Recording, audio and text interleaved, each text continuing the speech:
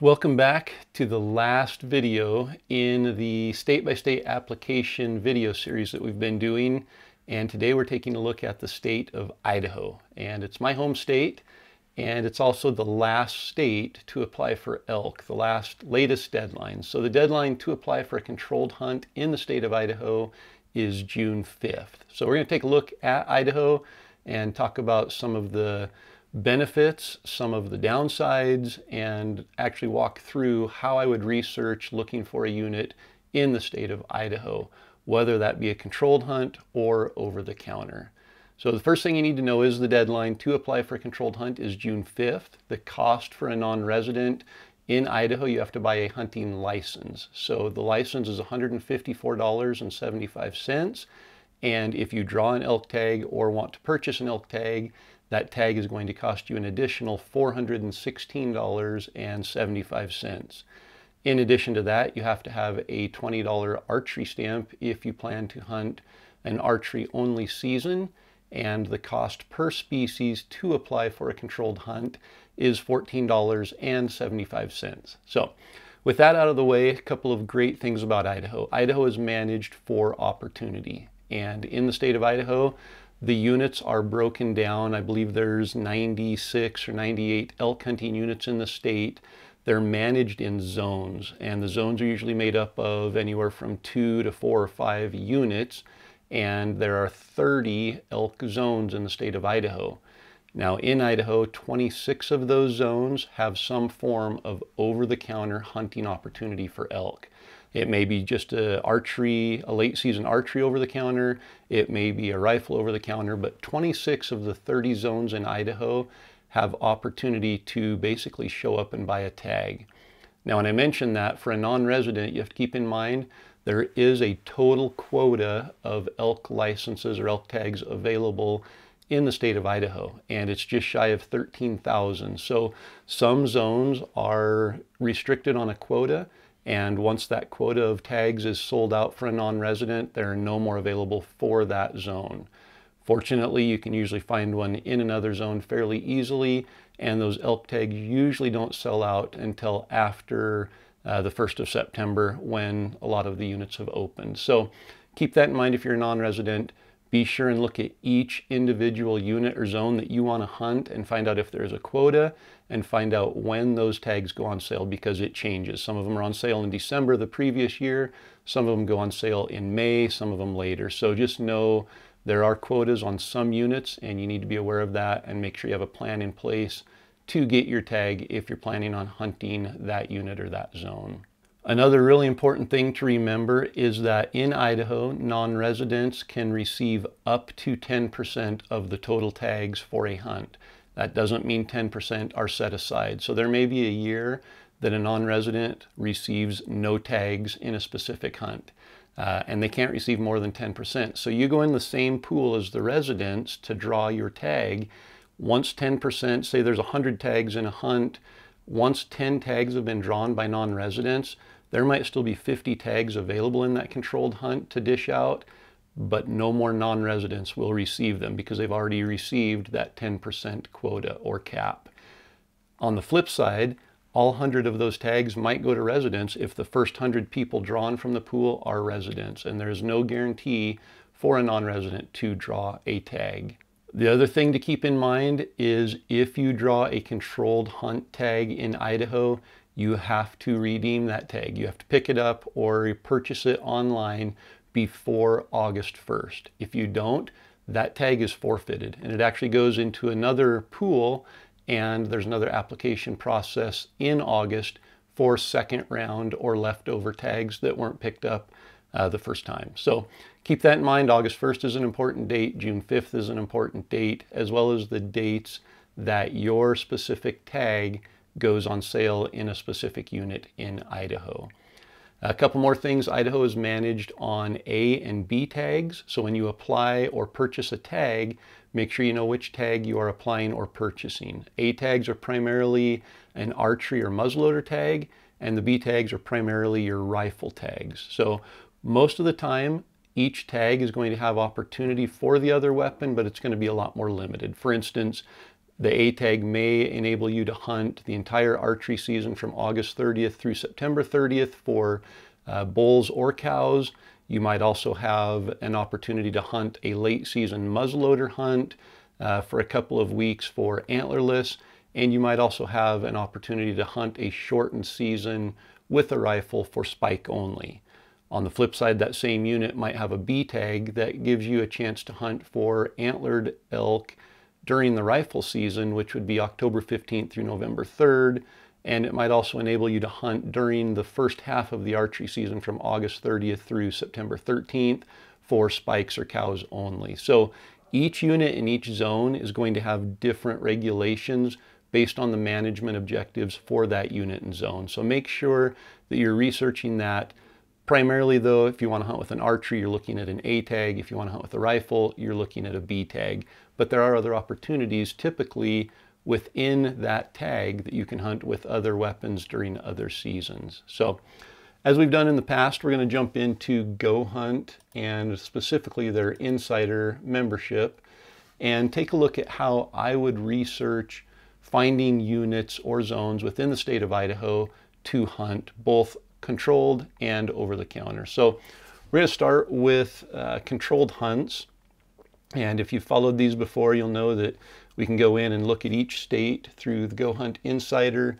Uh, I want to show drawing odds because Idaho is a unique state. Idaho has no point system, no preference point, no bonus point. And sometimes there's some heat drawn towards Idaho based on that, but honestly, I think it's the best system, the best platform you can have because everyone has an equal chance each year of drawing any tag in the state. So the harder to draw hunts, sometimes people are going to draw it every other year maybe.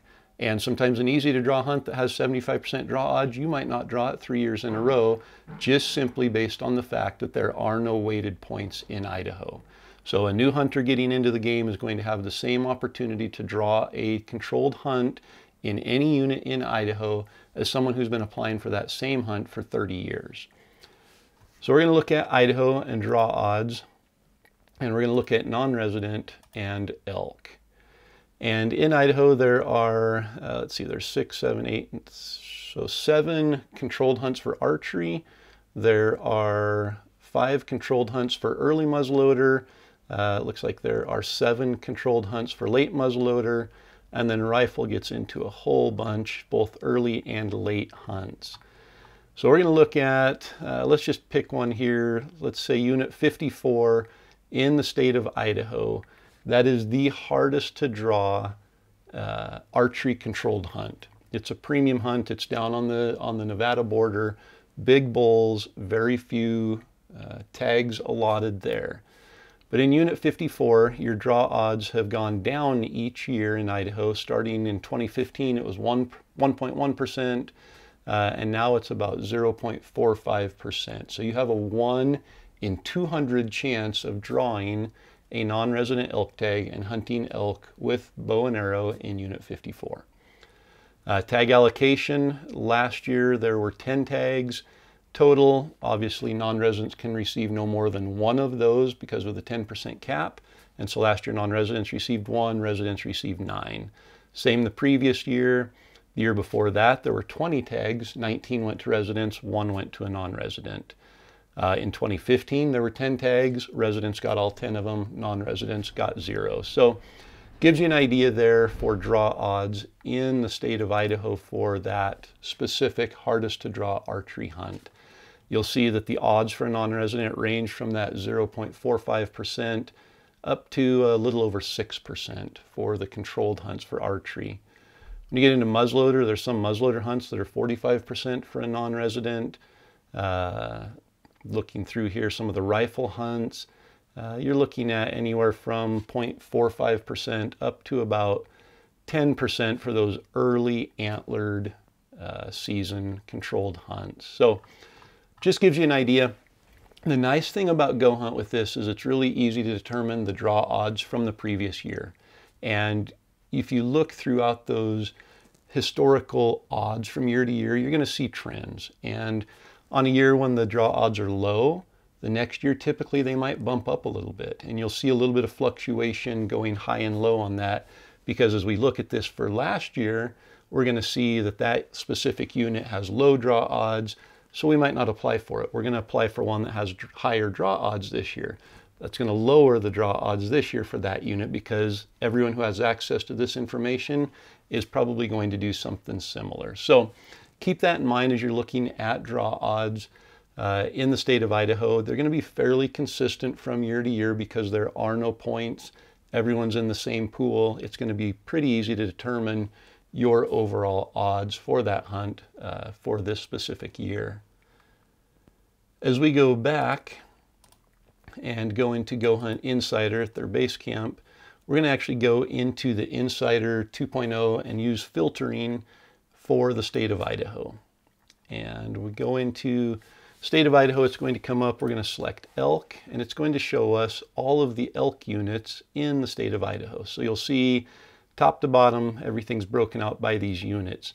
Keep in mind again that when you get a tag, that tag is for a zone, and it usually includes multiple units. And you can hunt any of the units that are included in that zone. So you're not restricted just to a unit, you're restricted to the units within the zone that your tag is good for. So I want to look at first here controlled hunt. So we're going to say, you know, we're going to set our filtering to trophy potential of 300 plus. Again, Idaho is managed more on opportunity than on trophy quality. So you're not going to have a lot of units that uh, are known for trophy bulls. But with that being said, in Idaho, just about any unit you hunt, you have the potential to uh, find and hunt a 300 plus bull in Idaho. Very few of them are going to have 340 or 350 plus, but there are a few that are managed for that. We'll take a look at that here in a minute. We'll go into residency. We'll keep our, our draw odds at zero for right now, and we'll go in and look at some specific hunts. So I want to look at uh, let's go archery controlled and let's go early rifle controlled for right now. All right, so we've got that set. Public land in Idaho is off the chart. You are not going to have an issue for the most part finding plenty of public land to hunt. I'm going to set this at 50%, but several units are 90% or more public land. And harvest success. This is what I want to what, what I kind of want to focus on right now. So we're showing these specific units here, and I'm just going to guess and say there's 20 to 25 units that are controlled hunts that we can look at for early archery or early rifle controlled hunts. Now I'm going to slide our success, and I'm going to go up to 50% success rates. And we'll notice that a handful of them stay shown here. And the reason why is, for instance, Unit 30, and I'm just picking this completely random. So anyone who hunts Unit 30 and you think that I'm pointing people to Unit 30, I am not. I just, it's sitting right here. It's right here. Don't hate me. I'm not pointing people or pushing people to Unit 30. I've gotten some comments recently from other states and people have said, why don't you go and give away all the honey holes in your own state? So I'm doing Idaho now. For those of you who are worried I was going to skip Idaho, it's here. I'm not showing units that I recommend you apply for. I'm simply picking one here. So unit 30, completely by random, not one I'm recommending you apply for.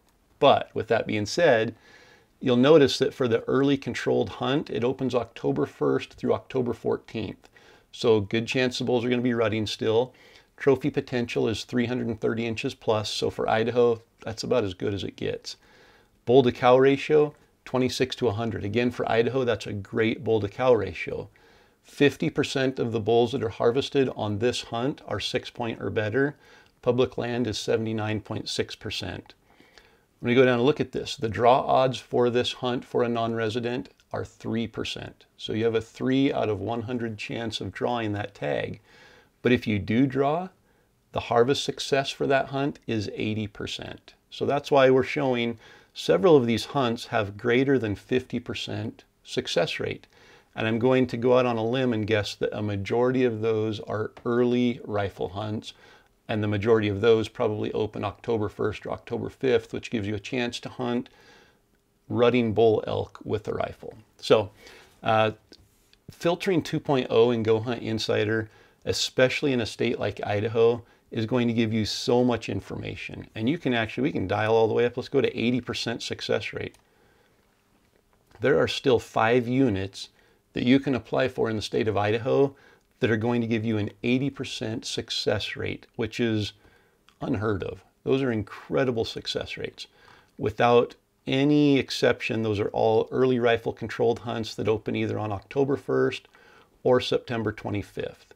And those success rates are 80%, 80%, 100%, 100%, and 80%. The problem with those are most of them are only going to offer five or 10 tags total. So as a non-resident, probably not ones you're going to want to look at because your chances of drawing are very, very low. With that being said, there is some great hunting opportunity in Idaho if you can draw the tag. We're going to pick unit 30 here again and just go inside and look at the details. But looking at it, in 2018, it's over the counter for archery. So when we get into over the counter, talking about over the counter details, keep in mind there are several units that are over the counter for archery, but that are controlled for rifle. If I'm an archery hunter, those are probably going to be some of the first units I look at to go and hunt over the counter because they are controlled for art for rifle, which means we're going to have an older age class of elk typically in those units. So a, a unit that is controlled for rifle but over the counter for archery is a great unit to look at for an over the counter opportunity. For the controlled hunt in Unit 30, October 1st to October 14th, in 2018 there were a total of 30 tags, so two of them went to non-residents. Success rate has hovered between 66% and 84% over the last five seasons. An incredibly high success rate hunt with 30 total tags, two for non-residents last year. Again, your success rates uh, for drawing that, your, your draw odds are 3%. There's also a rifle controlled hunt in that unit that opens November, uh, November 1st and goes through November 30th. So a late season, more than likely a migration type of hunt or a winter ground type of hunt. Success rates there have hovered between 59% and 90% the last five years. More tags allocated there, 110 tags, which last year they gave 11 to non-residents. So just giving you an idea, Unit 30 would be a great unit to consider uh, based on the criteria that we've entered, but there's a lot of other criteria we can look at. There are late muzzleloader hunts, late rifle hunts. Depending on the unit you want to hunt, Go Hunt Insider and Filtering 2.0 is going to help you narrow down some of those incredible units. Uh, going into back into archery only, we're going to look at Unit 54.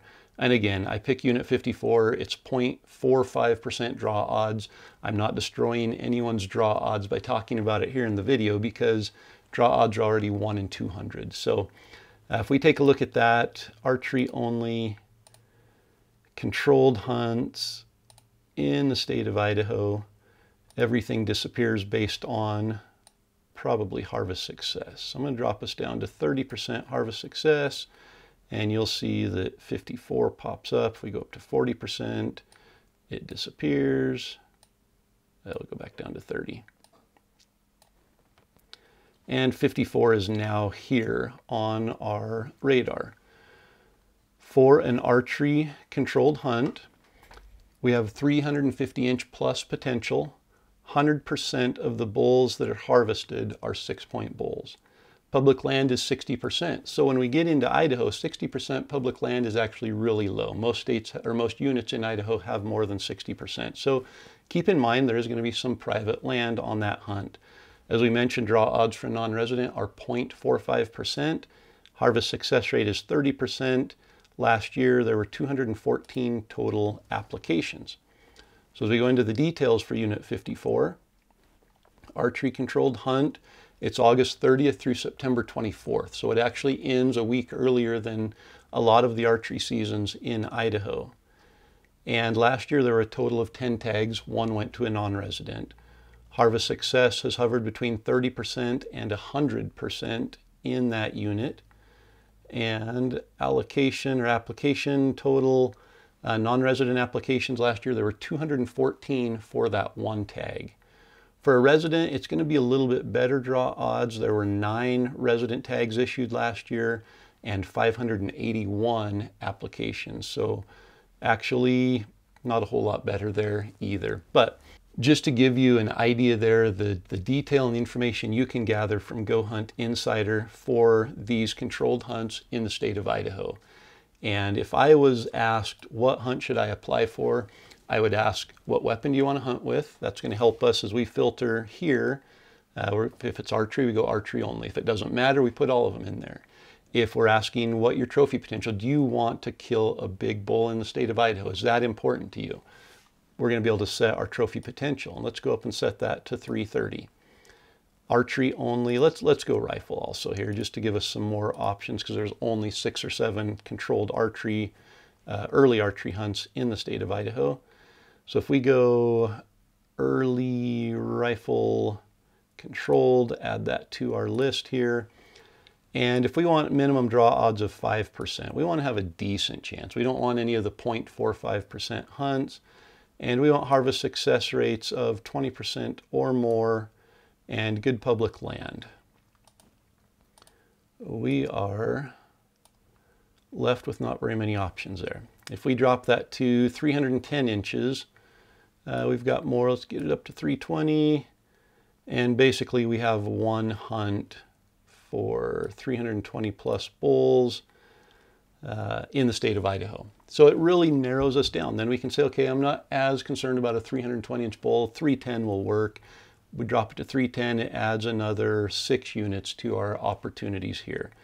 We can expand this and look at late season rifle. We can look at early season muzzleloader, all of those different controls that we have to help us find the perfect controlled hunt. Again, in Idaho, you have to buy a license, a hunting license, in order to apply for a controlled hunt. So it may not make sense if you just simply want to apply, but you aren't going to come and hunt Idaho unless you draw a controlled hunt. You're spending $154.75 plus the $14.75 application fee just to have a chance to draw a hunt. On the flip side, if you know you're coming to Idaho this fall and you're okay hunting over the counter, you have to buy the license anyway you might as well put in for a controlled hunt and roll the dice. It's only costing you an extra $14.75. Put in for a controlled hunt, shoot for the moon if you want to. Go for a really high quality controlled hunt. And then if you don't draw, you have over the counter that you can fall back on. And that's what I want to take a look at next are over the counter opportunities in the state of Idaho. So we're going to erase all of our filters here or reset all of our filters. Now let's go down the bottom and hit reset filters, go to Idaho and elk.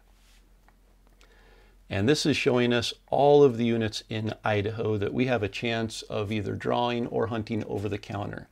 So what I'm going to do is I'm going to select early archery over the counter, late archery over the counter, late muzzleloader over the counter, early rifle over the counter, and late rifle over the counter. Now when I do this, and I look at non-resident, these are all of the units that have some form of an over-the-counter hunt for elk in the state of Idaho. You will see probably 80% of our state has some form of an over-the-counter hunt for elk. Incredible opportunity. Now we can narrow down these over-the-counter opportunities. So if we look at trophy potential and we go to 300 inches or bigger, these are going to be units that are managed more for a mature age class elk or they're just more remote. And due to the remoteness of the unit, bigger bulls are going to exist there. If we go down and look at public land again, if we put 50% here, we probably aren't going to notice hardly any change. Southeast corner in the southern part of the state, there's a lot of private land down there, so some of those dropped off, but for the majority of the state, we're still looking just fine at 50%. I'm going to bump this up to 70% because we don't lose very much there. Most of the units are going to have 70% or more public access. Harvest success. This is where we're going to notice the most drastic difference between the controlled hunts and the over-the-counter hunts. And if I put our harvest success rate at 30%,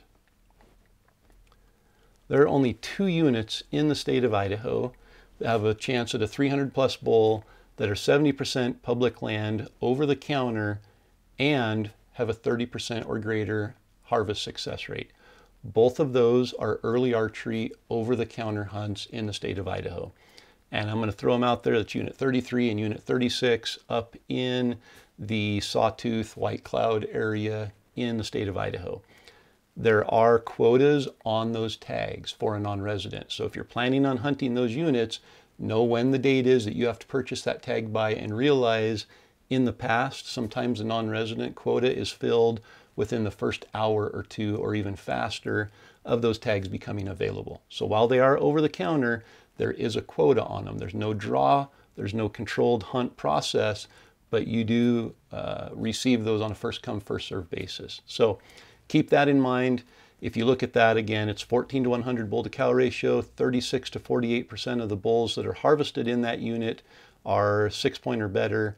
Public land is 93 to 96% and harvest success rate is 30 and 31%. So incredible information, especially, I, I almost said even for, but especially for over-the-counter hunts in the state of Idaho when you use filtering 2.0 on Go Hunt Insider. Now, if we slide that back down and get us down to a 20% success rate or better, more units are going to pop up. Still not a lot, 20% for an over-the-counter hunt on success rates uh, 300 or better. If we drop this down to 270 inches or better, more units are going to pop up here. We're going to get a handful of more units. And even in those units, realistically, you have a chance of finding a 300 plus bull. I would say any unit in the state of Idaho is going to hold 300 inch bulls. Uh, they're certainly not behind every tree, but if you're willing to work and get off the roads, you have a good chance of finding a mature bull, uh, a representative mature bull in the state of Idaho. So with that, uh, I hope that gives you a really good idea of the power of Go Hunt Insider and why I find it such a useful resource. Uh, this is not a paid promotion for Go Hunt Insider. This is a, a video on learning how to research units in the state of Idaho, and I have found nothing as powerful as Go Hunt Insider when it comes to that. I think a lot of times when we think of Go Hunt, we think of controlled hunts but the power to research over-the-counter hunts for every state in the West that has over-the-counter tags is hopefully demonstrated here in, in this short video. When it comes to applying in Idaho, just go to, they've, they've got a really easy to navigate website for applying. The actual state website is not quite as easy to navigate, but if you know what unit and what hunt you want to apply for, just go to IDFG, that's Idaho Department Fish and Game idfg.huntfishidaho.net. And if you've not applied or signed in before, you're to have to create an account. Once you log in, it's really easy to navigate. You can apply for controlled hunts. You can buy your licenses. You can do everything you need to do right there on that state managed website. So go to uh, gohunt.com forward slash elk 101 if you want to sign up for a Go Hunt Insider membership. GoHunt's going to send you a gift card for $50 that you can spend in the Elk 101 store on all of your elk hunting gear needs. And you're going to have access to the most powerful resource I've found for controlled and over-the-counter research of elk hunting opportunities. So thanks for joining us.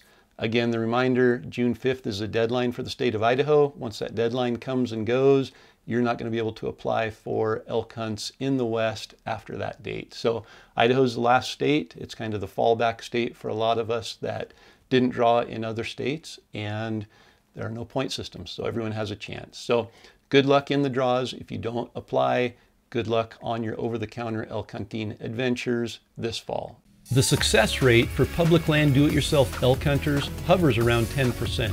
The reality of that statement is that 9 out of 10 elk hunters each fall fail to fill their elk tag, or the average elk hunter only fills their elk tag once every 10 years. But average no longer applies to you. The University of Elk Hunting online course was created with one purpose, to provide you with all the resources and information you need to maximize your elk hunting success. This course covers everything from the very basics all the way through detailed and advanced elk hunting tactics and strategies. The University of Elk Hunting online course contains 17 modules of elk hunting information, organized into 54 chapters covering every imaginable topic related to elk hunting. It's truly the most complete and comprehensive resource available for elk hunters. If you're ready to take your elk hunting success to the next level and crush the averages, sign up for the University of Elk Hunting online course today.